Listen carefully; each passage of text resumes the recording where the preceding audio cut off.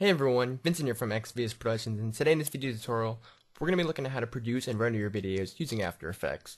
Now I get tons and tons of questions each day on how do I produce my video tutorials, how do I produce my animations once I'm done with my After Effects, how do I get to a single format so I can upload it to YouTube, Vimeo, and bring it into my video editor. Well, I'll be showing you how to produce your videos today using After Effects, and show you some of the possibilities, the different compressions, the pros and cons of each compressions, and basically give you the ups and downs of rendering in After Effects with the best quality, for the best purpose, for the best projects, etc.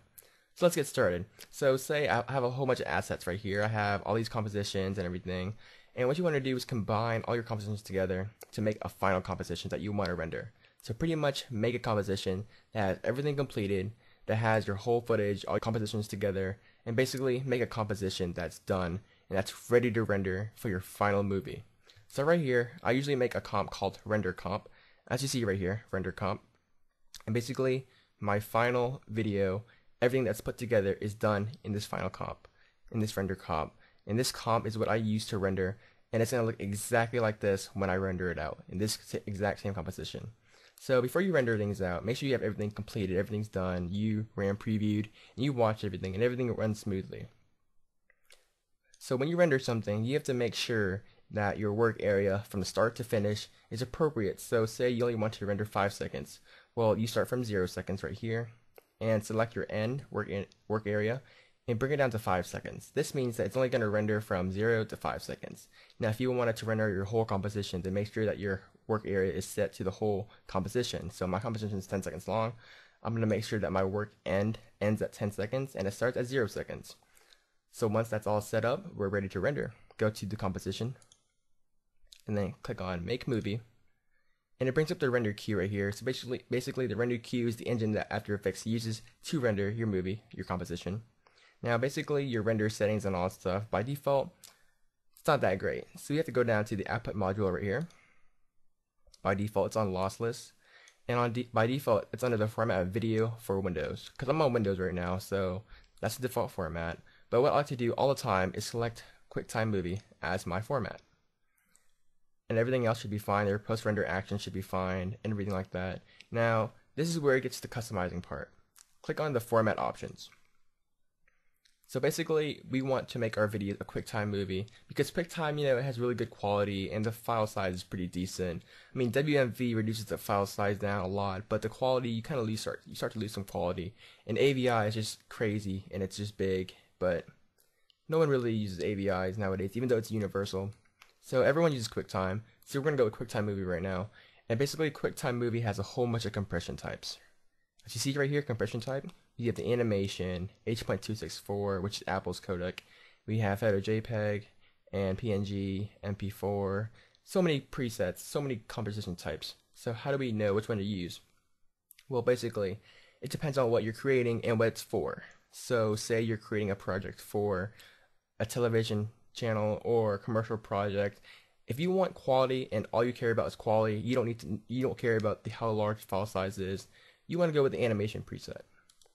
The animation preset is ideal for animators for your TV shows, your animations that are broadcasted live, basically anything that requires as much quality as possible. But we're going to go with the animation preset. I like to keep my frames per second at the default NTSC DV, 29.97 frames per second and make sure that your quality is set at best. That's very important. But the animation preset for the compression type is very large. So if you if so if you select this animation preset, make sure it's worth it because about 30 seconds of video is about 2 gigabytes. So it's pretty large. Now it depends on what you're rendering out, but it's pretty large. So if you want quality, choose the animation compression type and set it to best. Now say you're creating a YouTube video or you're creating something for a school project where you know you want pretty decent quality but you don't want a huge 2 gigabyte file. You want something around 50 20 100 megabytes. Something like that. We're going to go with the photo jpeg right here. Basically photo jpeg is a pretty high quality. It's um, photo jpeg quality actually. So if you know what a photo jpeg is then that's how good the quality is. And of course you set it to best and depth to color and frames again 29.97 frames per second at the default NTSC DV but basically it gives you pretty decent quality with low file size around 20 50 to 100 megabytes not that large compared to the animation preset So again, if you want quality, go with the animation, and if you just want okay quality, pretty good quality, but not that large a file size, like for YouTube or something like that, then we're going to go with the Photo JPEG. Of course, you can change the quality down to 90, 80. I like to keep mine at best. Now, if you're working for a draft, say you just want to render something out real quick just to see how smooth it flows, I'm going to generally put my quality to about 70% around here. So you don't really need that much of a quality, and it's at Photo JPEG, so it renders a lot faster too.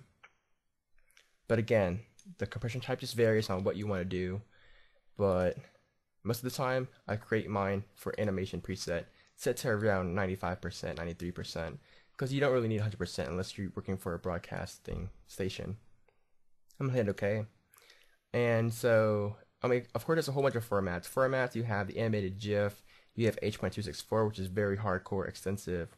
We have Blu-ray. We also have PNG sequence and TIFF sequence and JPEG sequence. Basically, if you are familiar with 3D modeling programs, you're familiar with rendering out your scenes as frames. So each frame is a new PNG sequence, PNG image. So basically, if you want to render your whole composition up by frames that are different images, then of course you have that option right here, PNG sequence and TIFF sequences. Though I don't recommend it in After Effects because you don't really need it in After Effects like you do in 3D modeling programs. But of course, now say you want to render alpha, say you want to pre-render um, lens flares or something like that, and you need the alpha channel. You need transparency in your video clip for lower thirds or anything like that. Well, in that case, you're gonna have to select QuickTime Movie. Make sure you click on the animation preset because Photo JPEG cannot handle transparency. So you're going to need to click on the animation preset. And then for the channel video output, we have to set the channels to RGB and alpha. That means it includes the RGB color values as well as the alpha transparency pixels. Make sure the depth is at 100, I mean millions of colors, color at pre-multiply matted, and then everything else is pretty much self-explanatory like the stretch, crop, and audio output. Of course, check this if you want some audio in your final output. But then again, most people put their audios using their video editor like Vegas, Final Cut, or something like that. Basically, that's pretty much the main part of rendering. The color management is all self-explanatory as well. But you don't really need to mess with anything as long as you go into the output module, select your format, your quality, hit OK, and then to the output 2, go ahead and click that. And basically, this is where you're going to save your video. So if you want to save your final video onto your desktop, then just browse to your desktop. We can name it animation video. Hit save, but you're not done yet.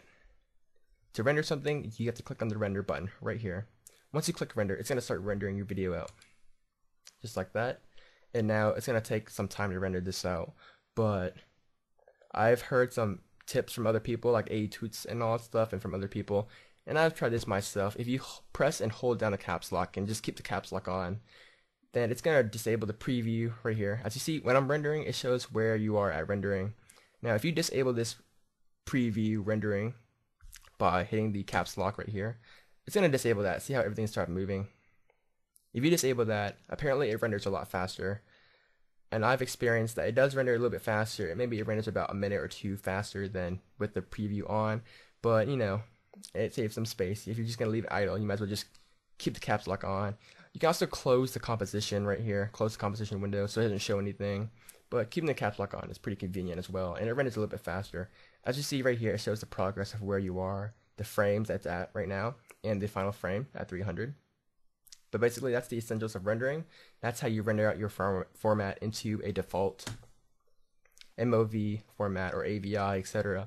That's how you bring it to your video editor, and hopefully this video showed you enough to produce your videos using After Effects. I hope that this video tutorial wasn't that fast. I'm trying my best to slow down. I know I get a lot of hater comments for going so fast, but you guys, this is so easy. This is the AE 101 series. But anyways, make sure you send your video requests by commenting below or PM me. Send me a video request because I am running out of ideas for video tutorials. So please send me ideas for video tutorials. Check my Facebook page, link in the video description, like the page, become a fan of my Facebook page, check out my video profile where you can find this animation right here and other animations I've done for sale as a template. And just thanks for watching guys, comment, rate, subscribe, check out my video tutorials for more animations, video tutorials, etc. And I'll be trying doing my, I'll try to be doing more of my old video tutorials over again because the quality isn't that great. And I'm going to try to slow down in these video tutorials. But thanks again, guys, for watching. Comment, rate, subscribe, and thanks for watching, guys.